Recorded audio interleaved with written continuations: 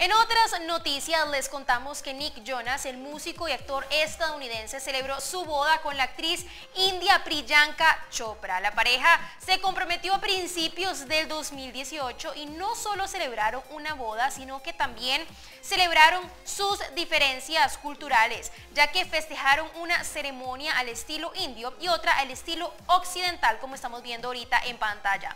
Durante la ceremonia india, los novios se tatuaron con henna y llevaron puestos trajes tradicionales del país asiático. Por su parte, en la occidental, Chopra usaba un vestido blanco mientras era escoltada por su madre.